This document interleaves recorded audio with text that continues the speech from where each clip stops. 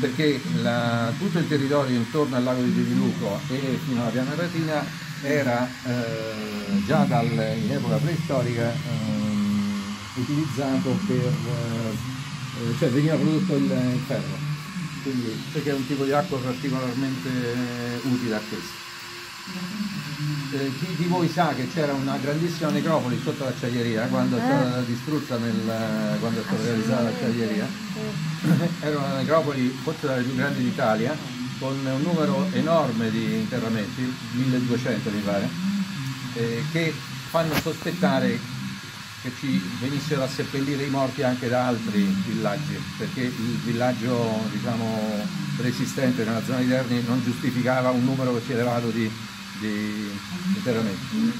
Tanto che l'ipotesi più eh, accreditata sia che ritenessero la cascata, e quello che era all'epoca la cascata, che era un ruscellare di acqua parte alta, l'ingresso del lago.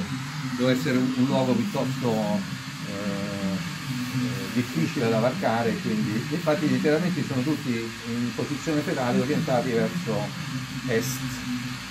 Marmore pare in, in lingua celtica, de, voglia dire proprio oh, l'Oriente. Allora, questi due diorami e poi c'è un video mapping che descrive la storia, quindi adesso lo possiamo ascoltare, prego entriamo nella cascata.